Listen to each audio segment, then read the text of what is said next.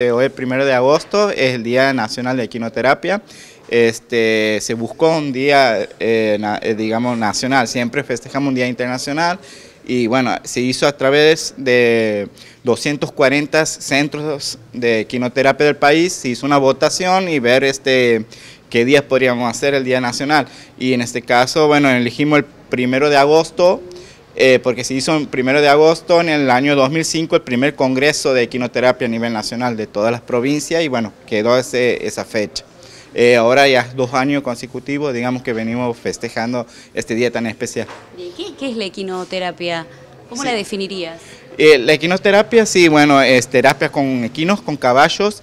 este, es una terapia alternativa, si yo lo estoy viendo como una aparte de ser complementarias, alternativas, porque hay eh, casos que hemos tenido eh, familias con, digamos, un integrante con discapacidad que solamente han podido acceder a la equinoterapia y han tenido, digamos, muchos beneficios.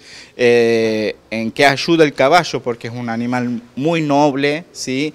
por los movimientos que brinda, digamos, al montar y aparte, bueno, por los calores corporales que tienen más del 2 o 3 grados más que el ser humano y bueno, este es más que nada porque es un animal muy noble, que nos ayuda mucho, este, nos enseña mucho, eh, también digamos a trabajar lo que es eh, el ego, es lo, lo, fundamental, ¿ha visto? Y bueno, trabajar todo lo que distintas discapacidades, tanto motriz, eh, eh, tanto discapacidad intelectual, sensoriales. Es muy beneficioso todas estas actividades para, eh, para nuestros jinetes. ¿sí? Yo he iniciado haciendo las terapias, siendo parte de, los chicos que hacíamos terapia en ese momento, después un proceso de, de aprendizaje y, y de autoconocimiento y otras cuestiones.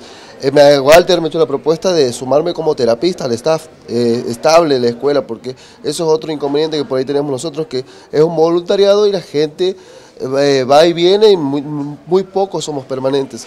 Entonces, dentro de ese proceso, este, he podido ayudar a muchos chicos, a muchos compañeros, desde mi lugar, porque soy una persona con discapacidad, que creo que eso es el, el plus, digamos, que voy desde el lugar de, la empatía también de saber qué puede llegar a sentir el otro, la persona que va a hacer las terapias, tanto los chicos como los papás, entonces eh, somos un complemento en todo caso. Y para mí ha sido muy beneficioso y al día de hoy, hace siete años que estoy vinculado con la escuela y a mí me ha hecho mucho bien, esa es la realidad, me ha hecho mucho bien. Y, ¿Has visto muchos cambios?